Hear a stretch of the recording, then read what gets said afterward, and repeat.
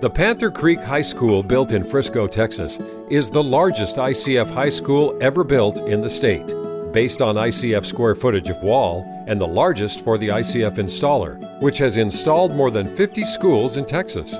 It was built with more than 150,000 square feet of Nudura ICF. The walls ranged from 14 to 70 feet tall and utilized 10 inch and 12 inch ICF cores.